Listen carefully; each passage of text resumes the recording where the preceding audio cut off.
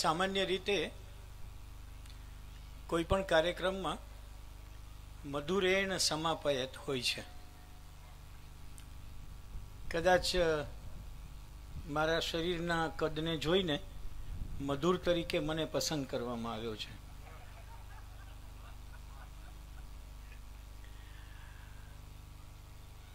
આમ તો જો વાત શરૂ કરવી હોય તો આપ સૌનું ધ્યાન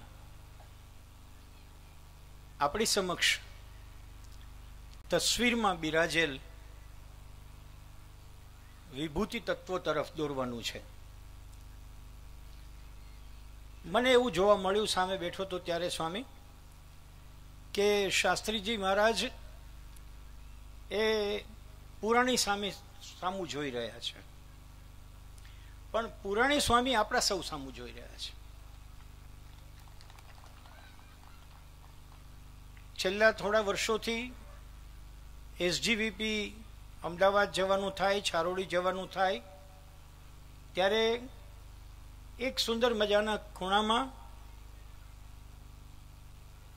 પૂજ્ય માધવપુરી સ્વામી આપણને વાળે કે હવે આશીર્વાદ પુરાણી સ્વામી આપશે અને જેમની આંખોમાં તમને કરુણા નીતરતી દેખાય, એવું એક વ્યક્તિત્વ, એવું એક વિભૂતિ તત્વ જેમના વારંવાર આંખમાં હાસ્ય અને આંખમાં કરુણા હોય એવું નિહાળ્યું, એ હવે ધામમાં પધાર્યું.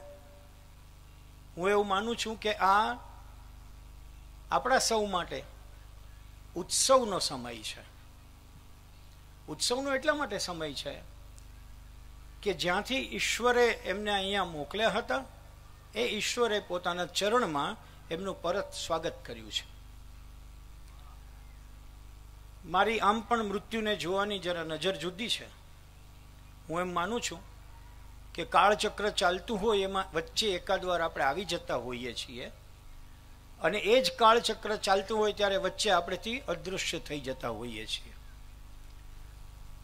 હું મારા પૂરા આદર સાથે, વિનમ્રતા સાથે પુરાણી સ્વામીના ચરણોમાં પ્રણામ કરું છું અને પ્રાર્થના કરું છું કે એમની નજર આપણા ઉપર સ્થિર છે, તે આપણા હૃદયમાં પહોંચે અને આપણું હૃદય માનવ સેવા માટે પ્રવૃત્ત થાય તેવા તેઓના આશીર્વાદ આપણને પ્રાપ્ત થાય. જેમ ભાઈ શ્રી જગદીશભાઈએ કહ્યું કે હું ગ્રંથો વિશે નથી બોલવાનો, તો મેં તો એવું જ વિચાર્યું કે હું ગ્રંથો વિશે જ બોલું. એટલા માટે કે આપણે સામાન્ય રીતે શારદા માટે એમ કહ્યું છે, અસિત ગિરી સમસ્યાત કજ્જલમ સિંધુ પાત્રે સુર તરુવર શાખા લેખનીમ પત્ર મુરવી લિખતી યદિ ગૃહિત્વા શારદા સર્વકાલમ, તદપી તવ ગુણાનામ ઈશ પારમ ન યાતિ તારા ગુણનો પાર આવે એમ નથી. લખવા બેસું ને સમગ્ર બ્રહ્માંડનું બધું મટીરિયલ ભેગું કરું તો પણ તારા ગુણ ન લખી શકાય.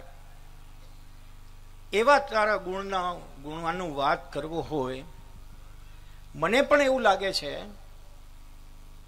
કે આપણે લોકો જે અહીંયા છીએ તે અને જે સંત સમુદાય અહીંયા બિરાજમાન છે તે, એની વચ્ચે ભેદ એટલો છે કે આપણને ઈશ્વરના દર્શન કરાવવાનો લાવો આપનાર કોઈ વ્યક્તિત્વ હોય તો એ સંતો છે. એટલે બીજા શબ્દોમાં એમ કેવું હોય તો they are very near to God they are very near to God Purani Swami માટે એમ કેવું તો કહેવાય now he is God now he is God ચૈતન્ય થઈ ગયું. પણ આપણે જેને બહુ નજીકથી પામવા માટે તલપાપડ હોઈએ, એવા ઈશ્વરના ગુણાનુવાદ કરવાનું કામ આ કદાચ શ્લોકમાં લખાયું મને એમ લાગે છે કે એ શ્લોકને માધવપ્રિય સ્વામીએ નવા અર્વાચીન યુગમાં લખ્યો અને એ શ્લોક એટલે આ છ ગ્રંથો છે કે જેમાં એણે પોતાના ગુરુદેવની સમગ્ર ગાથા લખીને એમ કહ્યું કે હું આટલું આટલું લખું ને, સાત સાત વર્ષ લખું, તો પણ તમારા ગુણોનો પાર ના આવે, એટલું હું લખી શકું એમ છું.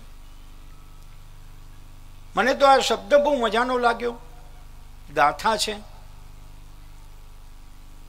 ભવિષ્યમાં કદાચ એવું પણ બનશે સ્વામી, મને એમ લાગે છે કે આના પણ સપ્તાહો થશે, આના પણ પુરાણ ગવાશે. અને એની અંદર ધર્મજીવન સ્વામી બાપાના પ્રસંગો કહેવામાં આવશે. અત્યારે કહેવાય છે, પણ એમના માટેની જ એક પારાયણ થશે. અને એ પારાયણનો મુખ્ય ગ્રંથ વ્યાસપીઠ ઉપર જેનું પૂજન થાય એવો ગ્રંથ છ ભાગમાં વહેંચાયેલો હશે અને એનું નામ ધર્મજીવન ગાથા હશે. આમ કેવું હોય તો તમે એવું કહી શકો કે ધર્મ જીવન એટલે ધર્મમય જીવન અથવા જીવનમય ધર્મ. કારણ કે આપણે ધર્મમય જીવનમાં બહુ માનીએ છીએ અથવા પ્રયાસ કરીએ છીએ અથવા થોડોક થોડોક દંભ કરીએ છીએ. આપણે લોકો આમ જન્મજાત દંભી ખરા. જન્મજાત. એટલે જરાક કાંઈક કેમેરો સામે મંડાય, ત્યાં આપણે ઠાવકા થઈ જનારા લોકો ખરા. તો ધર્મમય જીવનનો જે આડંબર પૂર્ણ કરવો હોય, તો એનો એક જ રસ્તો છે કે તમે જીવનમય ધર્મમાં પડો. ધર્મ પણ જીવનમય હોવો જોઈએ, અને એ ધર્મ કેવો હોય, એના નાના નાના પ્રસંગો જો જાણવા હોય, તો આ છ ગ્રંથોનો સહારો લેવો પડે. એક બહુ જાણીતી વાત છે, સ્વામી. કોઈ જિજ્ઞાસુ ભક્ત હતો. પણ અર્વાચીન ભક્ત હતો, અત્યારનો હતો એટલે ઉતાવળમાં હતો ફાસ્ટ ફોરવર્ડમાં દોડતો હતો. તો એમને ઈચ્છા થઈ કે મારે કોઈને પૂછવું કે ધર્મ એટલે શું? તો એને કોઈકે કહ્યું કે સામે એક ગુરુ રહે છે, ત્યાં જઈને પૂછો. એટલે ઝડપથી દોડીને એને પૂછ્યું કે, પ્રણામ, મારે જાણવું છે ધર્મ એટલે શું? ઇમિજિએટલી એને પ્રશ્ન પૂછ્યો. તો પેલા ગુરુ હતા, શાંતિથી સાંભળ્યું. સ્વસ્થતાથી એણે જોયું એની સામે. અને પછી એણે એમ કહ્યું કે, દોસ્ત, એમાં તો સમય લાગે. ધર્મ એટલે શું? જાણવું હોય તો સમય લાગે. તો કે કેટલો સમય લાગે? તો કે ઓછામાં ઓછા ચાલીસ વર્ષ થાય. ઓ, ચાલીસ વર્ષ? આઈ ડોન્ટ હેવ ટાઈમ તમને ખબર છે, આપણે બધા સંતોને વધુ અનુભવ છે. અમેરિકા ને યુરોપના લોકો ઇમિજિએટલી એમ કહેશે કે બધું શોર્ટમાં કરો, okay? You see we don't have time એટલે પહેલા એ કહ્યું ભાઈ ટાઈમ નહીં હોય તો હું તને નહીં સમજાવી શકું. ચાલીસ વર્ષ લાગે. પણ કે મારે ઝડપથી જાણવું હોય તો કોઈ બીજું ખરું? We are man of alternatives આપણને તાત્કાલિક વિકલ્પમાં રસ પડે છે. આપણે ઓપ્શન્સ નામના સ્ટોરમાં નથી જતા હોતા. ઓપ્શન્સમાં જીવતા હોઈએ છીએ. એટલે તાત્કાલિક કે કોઈ બીજો ઓપ્શન છે? અહીંયા કોઈ નજીકમાં એવું ખરું કે જે ધર્મ એટલે શું તે કે? તો કે આ સામે એક બીજા છે સંત. તું ત્યાં જા, ઉપડ. એટલે હવે તાત્કાલિક ઉપડ્યો. કારણ કે સ્વામીને થયું કે આમાં કાંઈ બહુ વળે એમ નથી. આને નિકાલો અહીંથી, જવા દો ત્યાં ગયો. એણે કહ્યું, પ્રણામ. મને સ્વામીથી મોકલ્યો છે. ધર્મ એટલે શું એણે બહુ સમજાવ્યું નહીં. એણે કીધું, સમય લાગે. તો કે, તારે શું જાણવું? તો ધર્મ એટલે શું?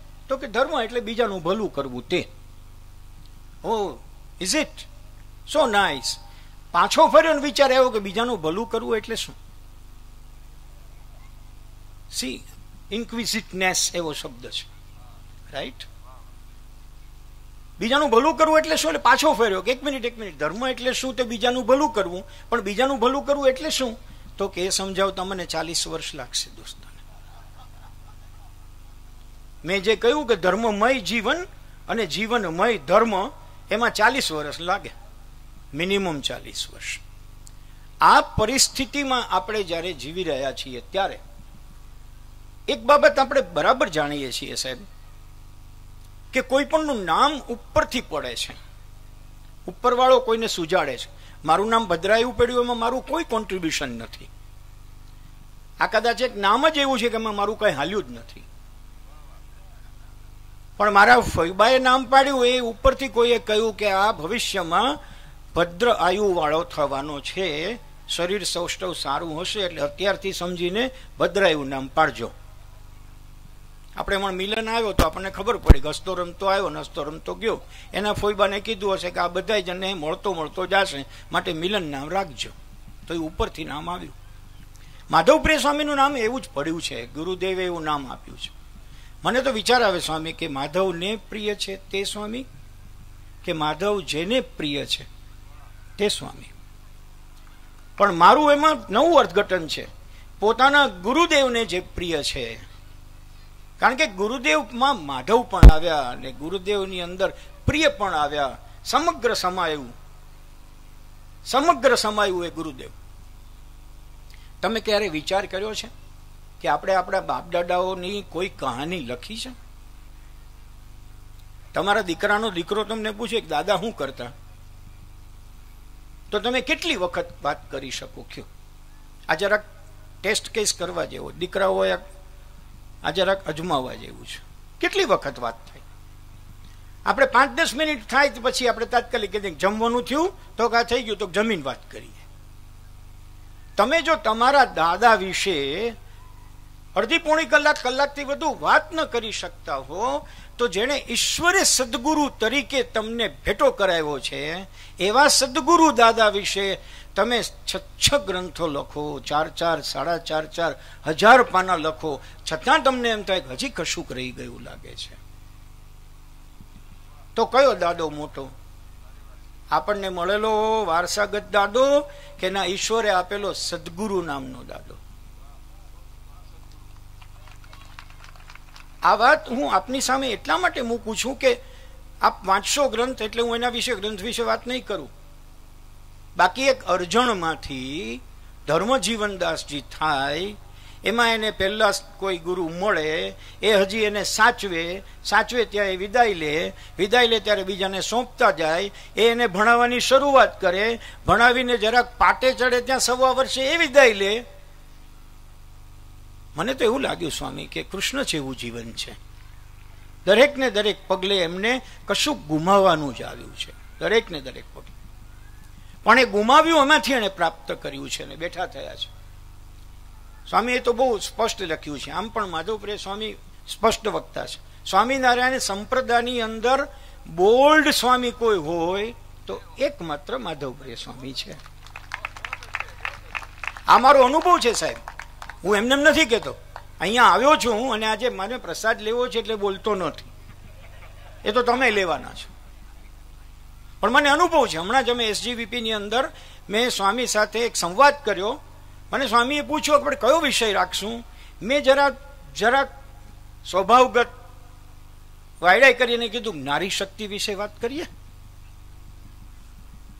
મને પાક્કી ખબર છે કે સાહેબ, બીજા સંપ્રદાયોમાં હું ગયો હોઉં તો ત્યારથી એ શેરીમાં મારી પ્રતિબંધ લાગે કે આવું કેનારો માણા કોણ કાઢો એને.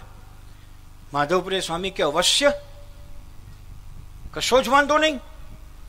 અને અમે બેસીને દોઢ બે કલાક જે અસ્ખલિત વાતો કરી, એમાં પણ મેં પ્રશ્ન લખીને આપ્યા. એમાં છેલ્લો પ્રશ્ન રાખ્યો હતો અને મેં યજ્ઞવલ્લભ સ્વામીને વિનંતી કરી હતી કે આ છેલ્લો પ્રશ્ન સ્વામી ઈચ્છે તો મારા વિવેકથી હું કહું કે સ્વામી, ઈચ્છે તો.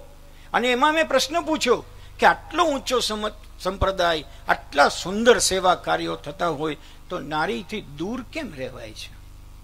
સાહેબ, તમે કોઈ સંપ્રદાયવાળા માણસને જઈને આ પ્રશ્ન પૂછી જોજો. પછી એ પાછળને તમે આગળ ન હોત મને તમે કહેજો. પણ એની અદ્ભુત વ્યાખ્યા. કેમેરાની સામે માધવપ્રિય સ્વામીએ કરી આપી અને કેટલા લોકોએ સાંભળ્યા પછી કીધું કે વાહ, આ સમજૂતી અમને પહેલા ખબર પડી હોત તો અમારું જે નાકનું ટેરવું ચડતું હતું એ નહીં ચડતું હોત. ધેટ્સ વાય આઈ સે કે બોલ્ડ સ્વામી છે. હી ઇઝ વેરી ક્લિયર અને એ ક્લેરિટી એને ક્યાંથી મળી? એ મને ખ્યાલ આવ્યો. એમના ગુરુદેવ પાસેથી મળી છે. મને એક વાત કરી જગદીશભાઈ અત્યારે વિચાર આવ્યો. જગદીશભાઈ, તમને ખ્યાલ છે કે એ જેવા અર્જણમાંથી બે ગુરુ પછી જ્યારે ધર્મજીવન દાસજી થયા, ત્યારે એમની અપેક્ષા અને ઈચ્છા ખૂબ હતી કે મારે કાશીમાં જઈને ભણવું. સંસ્કૃતનો અભ્યાસ કાશીમાં જઈને કરવો, પણ નહીં કરી શક્યા. સ્વામીના ગ્રંથમાંથી જ આ વાત કરું છું, એટલે આધારભૂત છે. એ નહીં કરી શક્યા, કારણ કે એ ગુરુદેવનો એ સમયની આવશ્યકતા બીજી દર્શાવી અને દર્શાવી એટલે કેવી? એ પણ લખ્યું છે. જેવી રીતે રાજપૂતોની વાત કરી, એ સમયની અંદર ખેડૂતનો દીકરો કઈ જગ્યાએ બેસે? તો કે કચેરીમાં જ્યાં જોડા રાખવામાં આવે ને, ત્યાં ખેડૂતનો દીકરો બેસે. એવી અવસ્થા હતી. એમાંથી એમને એમ લાગ્યું કે જો આમાંથી મારે ઊંચું ઉઠવું હોય અને મારા સમાજને ઊંચો ઉઠાવવો હોય, તો એક જ માર્ગ છે. એનું નામ છે શિક્ષણ. અને એમાંથી જ મને મેં રિફર કર્યું ત્યારે મને ખ્યાલ આવ્યો કે શિક્ષાપત્રીની અંદરથી તમે શું જોઈએ છીએ? સી, આ તો છપ્પન ભોગનો થાળ ભર્યો છે શિક્ષાપત્રી એટલે. મને એમાંથી શું જચે છે એ હું લઈને મારું જીવન ઘડી શકું. એટલે એમાંથી એમણે ઉપાડ્યું એકસો ને બત્રીસમું. શ્રીજી મહારાજનો આદેશ, પ્રવર્તનીય સદવિદ્યા ભૂવી યત સુકૃતમ મહત. એક જ વાત સાહેબ, અત્યારના બધા લોકો સ્વીકારે છે કે યુક્રેન અને રશિયા લડે છે કારણ કે શિક્ષિત નથી. ભારત દેશની અંદર હિન્દુ મુસ્લિમની વાત કરનાર લોકો શિક્ષિત નથી. માણસની અંદર માણસ ન જોનારો માણસ શિક્ષિત નથી, અભાવ છે સાહેબ. કયું શિક્ષણ, ચોપડીનું નહીં? ચોપડીમાં તો હાલ આપણે માસ્ટર છીએ સાહેબ. નંબર ઓફ યુનિવર્સિટીઝ જુઓ છેલ્લા કેટલા વર્ષોમાં આપણે કેટલી કેટલી ઉઘાડી નાખી છે. ઉઘાડી કહેવાય એને. પણ ના, એ નહીં, જે સ્વામી વિવેકાનંદે કહ્યું મેન મેકિંગ એજ્યુકેશન કેવું નામ કે જેની અંદર સ્પષ્ટ રીતે કહેવામાં આવ્યું કે ભાઈ સેલ્ફ લર્નિંગ સેલ્ફ ડિપેન્ડન્સી આત્મનિર્ભર શબ્દ તો હમણાં મોદીજીએ આપ્યો. ગુરુકુળની સ્થાપનાથી એનો વિદ્યાર્થી આત્મનિર્ભર છે. I seen. મેં મારી, મારા ઘણા બધા મિત્રો છે. પુષ્કળ મિત્રો છે. મારો ગુરુકુળ સાથે વર્ષોનો નાતો છે. પચાસ વર્ષ થયા ત્યારે શાસ્ત્રી મેદાનની અંદર એક બહુ મોટું એક્ઝિબિશન ભરાણું હતું. અને મને યાદ છે કે ત્યારે અટલ બિહારી વાજપેયી આવ્યા હતા. અને એમણે એમના વડાપ્રધાન થવા માટેના ચૂંટણી પ્રચારનો આરંભ જોગી સ્વામીના આશીર્વાદથી કર્યો હતો. એ સમયે હું ત્યાં હાજર હતો. કારણ કે એ વખતે ગુરુકુળનું પ્રેસ રિપોર્ટિંગ હું કરતો હતો. આટલો મારો નાતો છે. જોગી સ્વામીની સામે પલાઠી મારીને મેં આશ્ચર્યથી એને જોયા જ કર્યા છે. આટલું વામન જેવું એક વ્યક્તિત્વ પણ એ તમારી સામે જુઓ ત્યાં તો અમૃતનો વરસાદ વર્ષે એવું એ વ્યક્તિત્વ મેં પોતે અનુભવ્યું છે, ત્યારે હું બોલું છું. કે આત્મનિર્ભર, ગુરુકુળનો વિદ્યાર્થી પાકે ને પાકો આત્મનિર્ભર, વર્ષોથી આત્મનિર્ભર. આ સેલ્ફ ડિપેન્ડન્સી અને સ્વામીજી, આપ તો પરિચિત છો. મારા બહુ અંગત મિત્ર શ્રી રૂગનાથભાઈ દસલાણીયા, જેણે ગયા વર્ષે વિદાય લીધી, એક વર્ષ હમણાં થશે છઠ્ઠી તારીખે. એમની સાથે જ્યારે જ્યારે ગુરુકુળમાં આવવાનું થાય, ત્યારે જે વાત કરી, શરૂઆતમાં સુંદર રીતે ખળખળ વહેતા ઝરણાની જેમ જે દિલીપભાઈ બોલ્યા. એમણે એમ કહ્યું કે સાષ્ટાંગ કરે તો ખબર પડે તમને. એમણે તો સો પ્રકારના આવા પ્રણામો વર્ણવ્યા. પણ એ મેં અનુભવ્યું છે, સાહેબ. આઈ સીન મેં એવું પણ જોયું છે કે શિષ્ય જ્યારે પ્રણામ કરે ત્યારે શિષ્યના મનની અંદર ભારોભાર અહોભાવ છે અને એમના પ્રણામ સ્વીકારે ત્યારે એ સંતના મનની અંદર લેશ માત્ર અહંકાર મેં ક્યારેય ભાળ્યો નથી. આ પણ હું સાક્ષી ભાવે કહી રહ્યો છું. આ નિર્માણ કોણે કર્યું? ધર્મજીવન દાસજી બાપાએ કર્યું.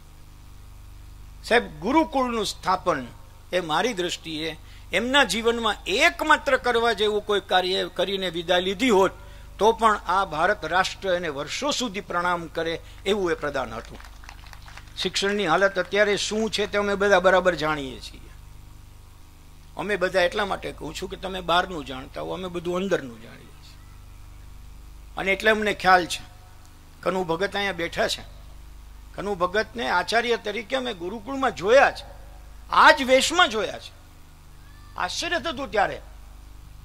વિજ્ઞાન મેળાવો હોય કે કોઈ શિક્ષકની પ્રવૃત્તિ હોય, તો કનુ ભગતને અમે જોયેલા છે. હું પણ વિજ્ઞાન શિક્ષક હતો અને મેળાઓ એટેન્ડ કરવા જતો ગુરુકુળની અંદર. આશ્ચર્ય થતું. આચાર્ય? પણ એ કનુ ભગતને ગુરુકુળના મકાન વિદ્યાર્થીઓની હારે બંધાતા હોય ત્યારે તગારા ઉપાડતા પણ અમે જોયેલા છે આ સેલ્ફ ડિપેન્ડન્સી આ વાત ક્યાંથી આવી? કોઈ પણ વસ્તુ સિદ્ધિ ના આવે સાહેબ. વર્ષો પછી આવે. ખૂબ મહેનત કરો ને, ત્યારે આવે. આ કોરી ધરતી ઉપર ખૂબ વર્ષા થાય ને, ત્યારે તમે ડીપવેલ માટે ઓલું મૂકો છો ને એન્જિન, તો ફુવારા જેવું પાણી આવે. પહેલાં ગયું, તો આવ્યું. એ ગયું ક્યાંથી? ધર્મજીવન દાસજી મહારાજે આપ્યું. હું એના પ્રસંગોમાં વધુ ઉતરતો નથી. સમયનો એલાર્મ મારો વાગી ગયો છે એટલે. પણ એક વાત ચોક્કસપણે કહું. હું આજે સામે બેઠો હતો ત્યારે હું જોતો હતો આપણે સૌ જોશથી સ્વામિનારાયણ ભગવાન કી જય એમ બોલતા હતા. સુંદર પ્રસંગ માધવપ્રિય સ્વામીએ નોંધ્યો છે. એક એક ગ્રંથની અંદર પ્રસંગો છે. એમની શૈલીની ખૂબી એ છે કે પ્રસંગ પ્રમાણે લખનાર છે પ્રસંગબદ્ધ લખનાર છે. એમનો કોઈ પણ પેરેગ્રાફ એવો નથી કે જેમાં કોઈ નાનકડો પ્રસંગ ન આવ્યો હોય. એટલે વાંચનારને પ્રસંગબદ્ધ વાંચવું એકદમ સરળ પડે છે. સીધું દિલમાં ઉતરે છે. મને બરાબર યાદ છે કે રાજકોટના ગુરુકુળની અંદર એક સભા ચાલતી હતી અને એ જે સભા ચાલતી હતી એ દરમિયાન સોરી રાજકોટના ઢોલરા ગામ પાસે એક શેરડી ઉત્સવ ચાલતો હતો. આપણને ખબર છે, ગુરુકુળમાં શેરડી ઉત્સવ હોય, શાકોત્સવ હોય, શેરડી ઉત્સવ ચાલતો હતો. અને બધા વિદ્યાર્થીઓ, ગુરુકુળના વિદ્યાર્થીઓ કટારામાં ભરી ભરીને આવતા હતા અને ઉત્સવના ખ્યાલથી સરસ મજાની વાત કરતા હતા. ત્યાં એમાં કોઈને ઉત્સાહ ચડ્યો, એટલે કોઈ એ બોલાવ્યું, સ્વામિનારાયણ ભગવાન કી જય. તાત્કાલિક કોઈ બોલાવ્યું શાસ્ત્રી મતજી મહારાજ કી જય. તમને ખબર છે ને, લોકો અત્યારના જય બોલાવવા માટે ભાડે ભેગા માણસો લઈ જાય છે. ખાસ ઓડિયન્સ રાખ્યું હોય સાહેબ, પૈસા દઈને જમવાનું આપે એને. પણ શાસ્ત્રીજી મહારાજની જય બોલાણું તો Shastriji Maharaj himself went out personally he came out એમણે આવીને બહાર કહ્યું કે એક મિનિટ એક મિનિટ. ત્યાં પુરાણી સ્વામી હતા, એને કહ્યું કે, આ કેવું કરો છો? સાધુઓની જય ન બોલાય. વિદ્યાર્થીઓ સ્તબ્ધ થઈ ગયા. પુરાણ સ્વામીએ કહ્યું, ધ્યાન રાખો તમે. આપણી જય બોલાવાની. આપણે તો એક ભગવાનની જય બોલાવાય. તમે મને કહેજો તો ખરા સાહેબ કે તમારી કોઈ જય બોલાવતો હોય તો તમને કેવી મજા આવે છે? હાળી, આપણી કોઈ બોલાવી નથી ને એટલે આપણને અનુભવ નથી.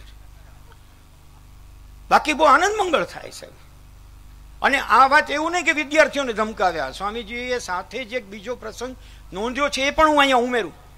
એટલે આપને ખ્યાલ આવશે. નવીનચંદ્ર રવાણી એ સમયના અમરેલીના સાંસદ. નવીનભાઈ દવેની સાથે એ મેમનગર ગુરુકુળની અંદર એક જ્ઞાન સત્ર ચાલતું હતું, એ દરમિયાન એમણે પ્રવેશ કર્યો.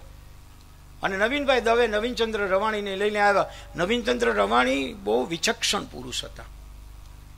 મૂલ્યવાળા રાજકારણી પક્ષપલટાથી આવેલા કોઈ માણસ નહોતા. પણ એમણે સુંદર મજાનું પ્રવચન કર્યું. પ્રવચનની શરૂઆતમાં એમણે સ્વામિનારાયણ ભગવાન કી જય એમ કહ્યું, પણ ભાવાવેશમાં આવી ગયા. અને એમનાથી પણ બોલાઈ ગયું, શાસ્ત્રીજી મહારાજ કી જય. સભા તો સ્તબ્ધ થઈ ગઈ. કેમ? સભાને ખબર હતી કે ન બોલાય. પણ એને એને રોકે કોણ? એને કહે કોણ?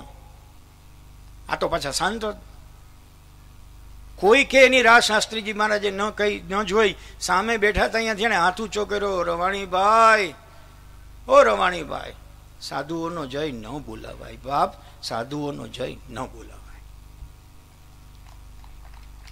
વિદ્યાર્થીથી લઈને મુત્સદી કહેવાય એવા એક રાજકારણીને પણ પોતાનો જય બોલાવતા અટકાવી શકે એવા સદગુરુ માધવપ્રિય સ્વામીને મળ્યા. ત્યારે એ સદગુરુ કલમમાં ઉતર્યા. અને હું માનું છું કે સ્વામીએ નથી લખ્યું. એમણે પોતે આવીને લખાવ્યું છે. મને તો એવું પણ લાગે છે, વાંચતા વાંચતા હજી એકાદ બે ગ્રંથો લખાશે. મને એવું લાગે છે, પ્રવાહ હજુ આગળ જઈ શકે એમ છે. માધવપ્રિય સ્વામીની ખૂબી એ છે કે એ તળપદું પણ લખે છે. સંજુભાઈ ગઈડ પાઈડ આવો શબ્દ ભાગ્યે જ ક્યાંક તમને જોવા મળે. મેં એક શબ્દ નોંધ્યો તો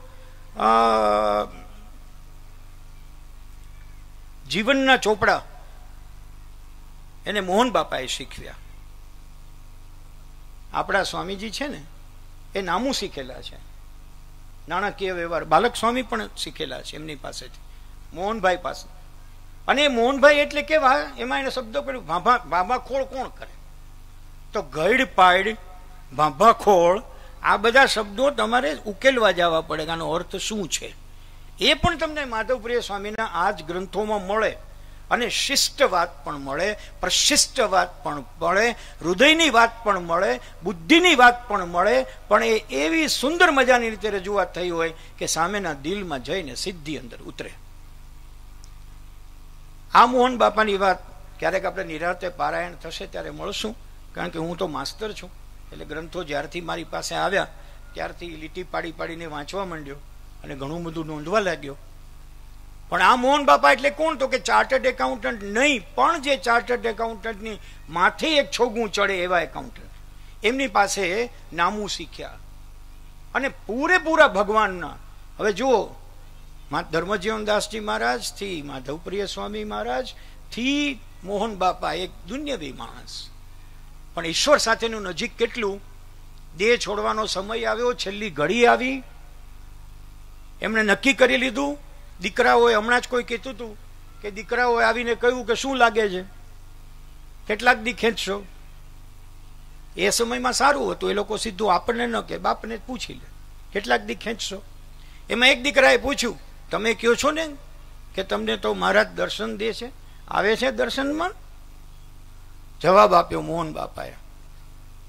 ત્રણ દીથી આવે છે. એમ ત્રણ દીથી આવે છે. તો ક્યારે લઈ જવાના એ કઈ કીધું? મોહન બાપાએ જવાબ આપ્યો, કીધું તો ખરું, પણ એ ખાનગી છે. આ વાત કરી, બીજે દિવસે મોહન બાપા ધામમાં સીધા ગયા. તમે કલ્પના કરી શકો, સારપ ઉતરે તો ક્યાંથી ઉતરે? ઈશ્વર સદગુરુને આપે, સદગુરુ એક શિષ્યને આપે, શિષ્ય પોતે સદગુરુના ગુણધર્મોથી અન્ય લોકોમાં વહેંચી આપે. આ કામ ભાગ્યે જ પૃથ્વી ઉપર જોવા મળે એવું ભારતીય પરંપરામાં છે. સાહેબ, ભારતીય સંસ્કૃતિ આ છે, આ. લોકોને આ કહેવાની જરૂર છે કે આવો મોહન બાપો જે બધાને નામું શીખવતો, એ જો ભાંકી શકે ને બોલ્યા પછી બીજે દી વયો જાય, એવું નજીક જવું હોય, તો સદગુરુના ચરણમાં જાઓ. હું મારી વાતને દિલીપભાઈએ કહ્યું હતું તેમ અલ્પવિરામ નથી આપતો, પૂર્ણ વિરામ મૂકું છું. એટલા માટે કે દિલીપભાઈ તો ઋષિતુલ્ય વક્તવ્યથી એ બોલ્યા છે. જગદીશભાઈ તો અમારો ઉછળતો કૂદતા દરિયા જેવો છે. એટલે તમને ડાયરો પણ લાગે અને ઊંડાણવાળી વાત દિલથી બોલાતી પણ લાગે. મારી વાત માસ્તરની વાત છે. માસ્તર બીજું શું જોવે? જ્યાં જોવે ત્યાં શિષ્ય જોવે. શિષ્યની આંખમાં શું જોવે? જ્યાં જોવે ત્યાં ગુરુ શોધે. ગુરુની આપણા સૌની પરમ. Thank you